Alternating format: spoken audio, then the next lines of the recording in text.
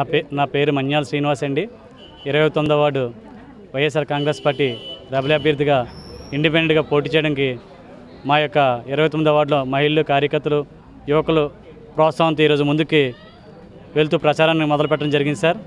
నేను గత పార్టీ ఆవిర్భావం నుంచి వైఎస్ఆర్ కాంగ్రెస్ పార్టీలో అనేక రకాల సేవలు అందించి రెండు వేల పద్నాలుగు ఎలక్షన్లోని వైఎస్ఆర్ కాంగ్రెస్ పార్టీకి రెండు వేల పంతొమ్మిది వైఎస్ఆర్ కాంగ్రెస్ పార్టీ ఎలక్షన్లో నేను నేను తీవ్రంగా కృషి చేశాను. పార్టీకి నా సొంత నిధులతో పార్టీని అట్టడుగు స్థానించి ఈరోజు అధికారం అధికారం వచ్చే స్థాయి వరకు నా వంతు నేను కృషి చేశాను.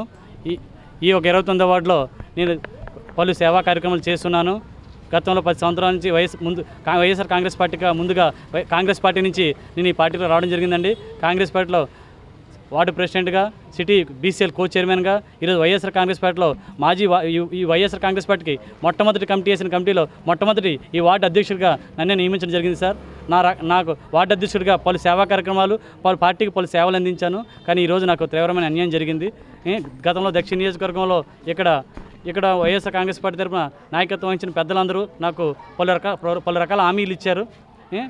రానున్న ఎన్నికల్లో గ్రేటర్ మున్సిపల్ కార్పొరేషన్ ఎన్నికల్లో నీకు మీ వార్డు కార్పొరేటర్గా నీకు మేము నియమించడానికి నీకు అవకాశాలు ఇస్తాము. నువ్వు పార్టీ కష్టపడండి. నన్ను పార్టీకి చాలా రకాలుగా కష్టప కష్ట కష్టపడి సాయం చేశాను. రెండు వేల పద్నాలుగులో జగన్మోహన్ రెడ్డి గారు ఓటమి చెందిన తర్వాత మొట్టమొదటిగా విశాఖపట్నంలోని కలెక్టర్ ఆఫీస్ దగ్గర ఫ్రీజ్ ఫ్రీజ్ రీఎంబర్స్మెంట్ ధర్నాలో ఆయన పాల్గొనడం జరిగింది. అది అప్పుడు అది మా వార్డులో ఉండడం వల్ల ఆయన సర్క్యూటాస్ కాంచి ఇక్కడ వరకు వస్తే ఒక్కరు కూడా ఒక బ్యానర్ కూడా కట్టలేని పరిస్థితుల్లో పార్టీ ఉన్న స్థితిలో.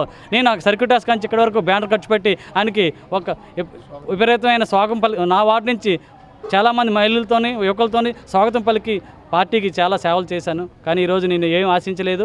నాకు నేను పార్టీలో ఎటువంటి అవినీతికి కానీ పార్టీ ప్రజాసేవలు ఎటువంటి అవినీతులు కానీ అక్రమాలు కానీ పాల్పడకుండా నిస్వార్థంగా పలు సేవా కార్యక్రమాలు చేశాను. ఈరోజు నా సేవలు గుర్తించి పార్టీ నాకు అన్యాయం చేసిన నా వార్డులో ప్రజలు మాత్రం యువకులు మాత్రం ఉత్స మహిళలు మాత్రం దీన్ని వ్యతిరేకిస్తూ మీరు ఈ విధంగా స్వతంత్రంగా ముందుకెళ్ళని చెప్పి నాకు ప్రోత్సహించి నన్ను ముందుకు వెనుతడుతున్నారు ఈరోజు నాకు ప్రజల్లోని నాకున్న రెస్పాన్స్ ప్రజల్లో ఉండే నా అభిమానాన్ని నాకు ఈ వార్డులో గెలిచే అవకాశాలు ఎక్కువగా ముందుగా నేను గెలుస్తానని చెప్పి పూర్తి నమ్మకంతో ముందుకు దూసుకుపోతున్నాను.